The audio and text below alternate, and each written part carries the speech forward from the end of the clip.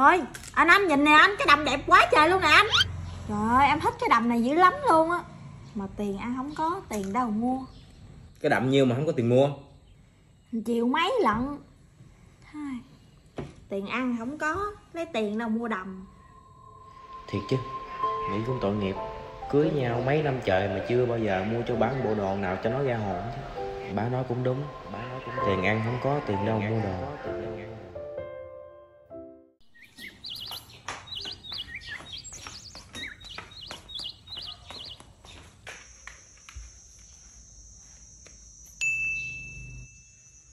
ủa cái đầm mình thích đây nè. Anh đâu đây vậy trời? Anh ơi! Cái gì vậy em? Cái đầm này anh mua cho em đó hả?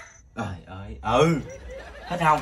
Thích sao không? Sao tự nhiên bữa nay mua đầm tặng em vậy chàng? Thì hồi cưới nhau giờ chưa có mua bộ đồ nào ra hồn cho em hết á. Nay có dịp sẵn mua luôn. Ôi ơi tiền đâu anh mua vậy anh? Anh đặt con heo trong tủ anh mua cho em đó. Gì? Ông mới nói gì anh, anh đặt con heo trong tủ anh mua đậm cho em. Trời ơi trời ông khùng rồi. Tiền tôi để ông heo cho con đi học mà ông cũng lấy nữa.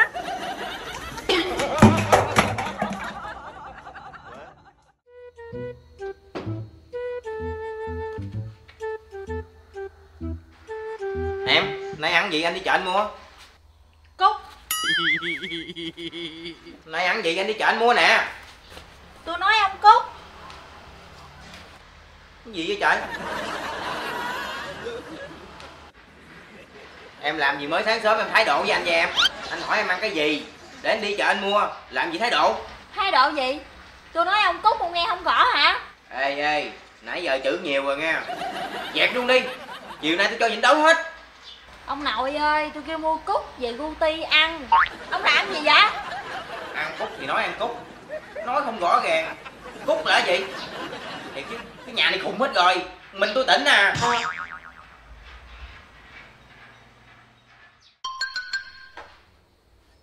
Ủa về rồi hả? Có xin được việc làm không anh? Có mà tháng sau mới làm. Ủa sao kỳ vậy? Để tháng sau đi làm chắc chết đói đúng không à. Anh vô anh xin việc làm á anh hỏi người ta tháng nhiêu ta nói 5 triệu. Tháng sau trả 10 triệu. Rồi sao? Thì tháng sau anh vô làm luôn chứ sao? 10 triệu ngon hơn. Anh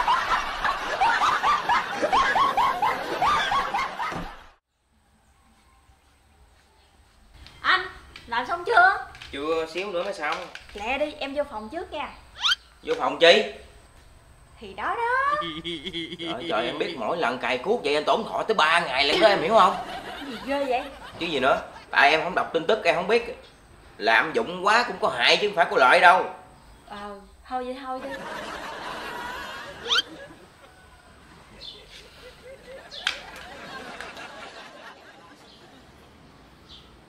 anh anh. Cái thằng hiệp con bà tám anh ghét nó dữ lắm phải không anh? Sao tự nhiên nhắc nó làm chi vậy? Nhìn cái mặt thằng đó là không ưa rồi. Thì bởi vậy anh biết anh ghét nó dữ lắm. Em cho nó sắp chết tới nơi rồi.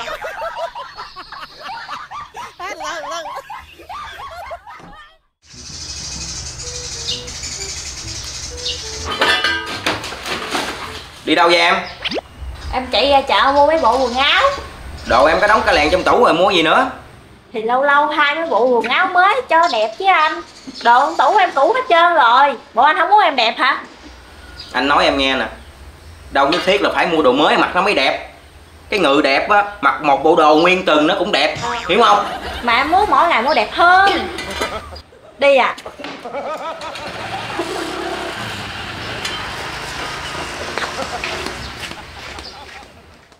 ông mà nói chuyện kiểu đó mai mốt không đừng có nói chuyện với tôi rồi nha. Tu vậy đó. Không nói thì không nói. Tôi sợ bà. Ông.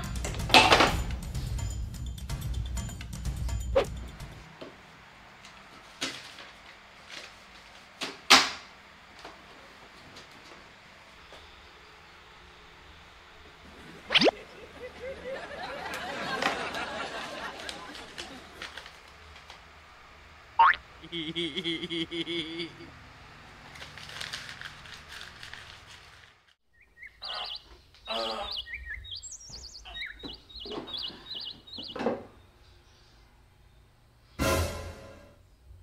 này bảy giờ mấy rồi trời. Tối dặn kêu bảy giờ vậy mà sao đâu có tiêu rồi trời. Thì chứ.